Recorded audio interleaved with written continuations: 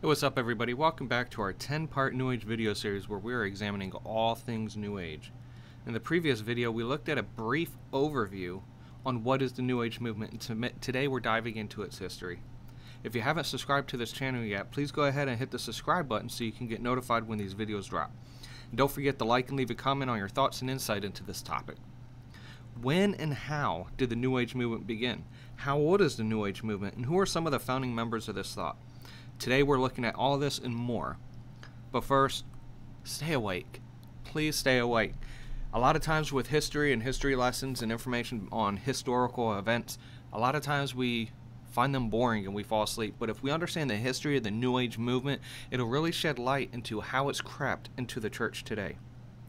Future videos, we're going to be looking at what are the beliefs held within this movement, what exactly is the age of Aquarius, who are the main advocates for this belief inside and outside the church, and what does God even have to say about this? So, jumping right into it, how old is the New Age movement? See, many people actually believe this view is a fairly recent thought that was made famous by Oprah Winfrey as far back as 2008, if not farther. However, that would actually be an incorrect view because we could trace this philosophy behind the New Age almost 200 years earlier, if not farther. One of the earliest is actually a man by the name of Emanuel Swedenborg, who lived in the 18th century.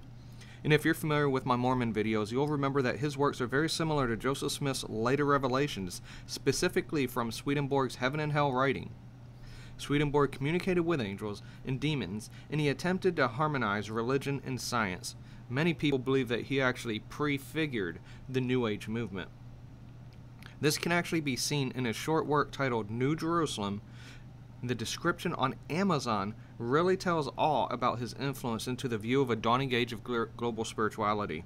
It says, Swedenborg understood the city of New Jerusalem as he described in the book of Revelation to mean not a physical city, but an epoch of history, a new spiritual age that was just beginning to take shape during his lifetime in the 18th century. This short work, presented as a series of teachings that characterize this spiritual age to come, is also one of Swedenborg's most concise and readable summaries of his own theology. Building on fundamental concepts such as good, truth, will, and understanding, he describes the importance of love and usefulness in spiritual growth. The philosophy was already prevalent, however, in America in the 19th century, seen by the work of William Blake, Phineas Quimby, Helena Blavatsky, and Mary Baker Eddy. In 1810, in Milton a Poem, William Blake coined the term New Age. In the preface is written, The stolen and perverted writings of Homer and Ovid, of Plato and Cicero, which all men ought to contemn, are set up by artifice against the sublime of the Bible, but when the new age is at leisure to pronounce, all will be set right, and those grand works of the more ancient and consciously and professedly inspired men will hold their proper rank, and the daughters of memory shall become daughters of inspiration. There's little doubt that the age spoken of here was an age that we're discussing today, namely a new epoch or a new era that he saw arising shortly, similar to that of Swedenborg. Later, around 1830, Phineas Quimby founded the New Thought movement, and Dr. Joseph Murphy refers to Quimby as the great American healer. He reveals that through Quimby's beliefs and teachings, he could command another's body and heal them, in a similar fashion as Christ did, as recorded in the Gospels. A few decades later, in 1875, Helena Blavatsky, a Russian living in New York, co founded the Theosophical Society. The Society reports that Helena traveled the world searching for wisdom about life and the reason for human existence. Again, the basic questions that establish one's worldview. Eventually, Blavatsky brought the spiritual wisdom of East and Western mysteries to the modern West, where it was said they were virtually unknown. Her writings became the first exposition of what we know of today as the modern theosophy. Due to Helena Blavatsky, America receives a pluralistic worldview due to her adoption of various religious teachings.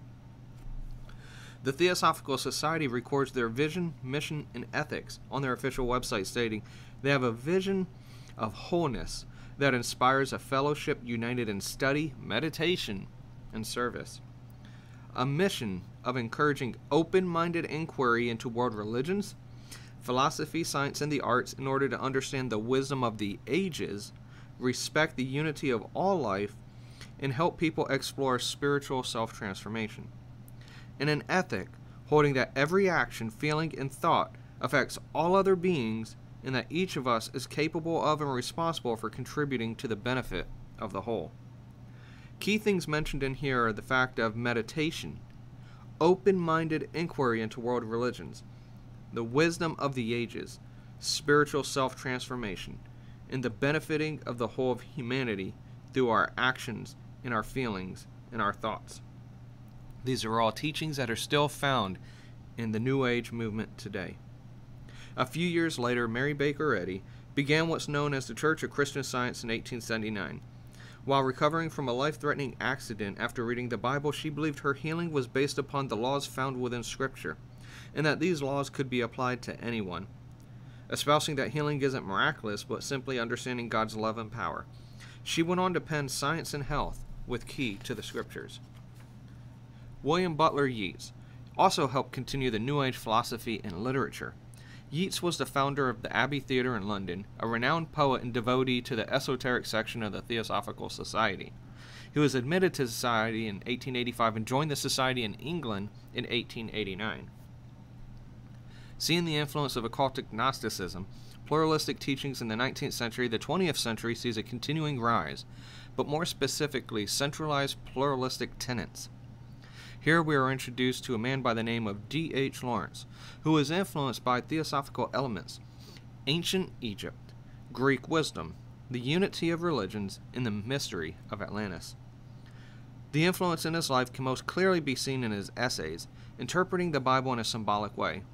T. R. Wright states that Lawrence, while remaining detached from theosophical orthodoxy, can be found to practice a mode of double reading of the Bible similar to that of Blavatsky and her followers.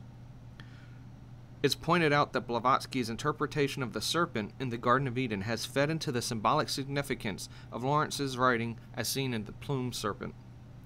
There is a New Age thought that the Bible is to be taken symbolically much more so than literally, and that leads to a lot of these false views. Then, in the early to mid 1900s, Edgar Cayce, who was an American mystic and supposed theologian, founded the Association for Research in Enlightenment. Edgar was considered a pivotal influence on the later to be known as the New Age movement. In his childhood, Cayce believed he was communicating with his deceased grandfather and often played with imaginary friends who he believed were to be spirits. This fascination led into his occultic practice and the performing of psychic readings for over 40 years. The majority of his written works were focused on holistic health and illnesses, and many claimed physical healings during these readings.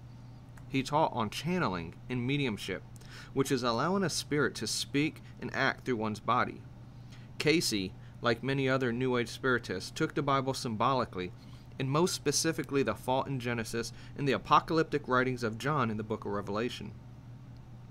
Cayce reported that while he journeyed in the spiritual realm, he was able to uncover the spiritual meaning and symbolic meaning in the book of Revelation, and found to be of importance to awaken our superconscious mind to allow one to be at one with God.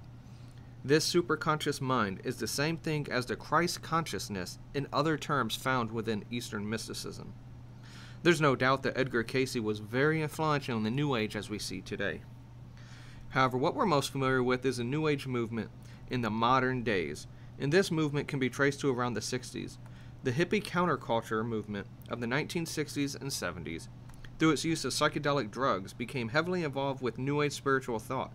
The tone of religious and spiritual exper- experimentation of the times contributed heavily to people's openness to trying new approaches to God and spirituality. It was not uncommon for hippies to take whatever part of religion it felt offered truth and combine it with others to create a spiritual smorgasbord.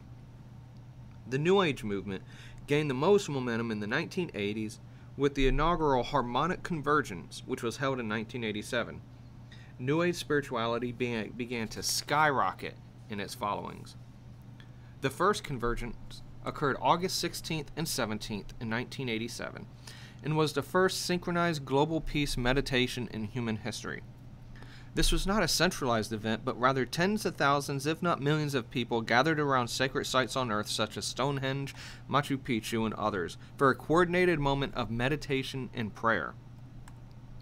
When Jose Arguelles, the brainchild of this event, was asked why he believed a new age was dawning, he replied, This belief comes from a study of the Mayan calendar, which I discovered actually describes the passage of Earth in our solar system through a beam 5,125 years in diameter. We entered this beam in 3113 BC and leave the beam in 2012 AD. August 16th and 17th of 1987 marks the point in the beam when there is a break in the wave harmonic that this beam re- represents. The day also corresponds to prophecies concerning the return of the god hero Kukulkan, as well as various other intertribal prophecies calling for 144,000 awakened sun dancers to dance the new age into beginning. Jose was also asked if this was a new religion. To this, he said, Yes, in a way, it is a new religion, the religion of the earth. A religion that encompasses all religions and beliefs by shadowing our oneness with the earth in all of life. A religion galactically attuned to the new frequencies so that the timeless values of service and compassion for the higher good will be reestablished in the hearts of humankind once again. The harmonic convergence still continues to this day with the goal of global meditation to invite peaceful extraterrestrials to show themselves. These followers state that there were hundreds of sightings and that they aspire to collectively raise consciousness, uplift humanity into a higher resonance beyond world peace to universal peace. So we can see this New Age view, though has evolved and is very broad, that houses many views and beliefs, has been around for hundreds of years. And if you were to do more study, you can find influences back to before Christ's first advent. Some of the major catalysts to the New Age that we're seeing today, such as relativistic truths, channelings, psychics, meditation, symbolic interpretation of the Bible, and other pluralistic practices, can be attributed to Swedenborg, Blavatsky, and Cayce.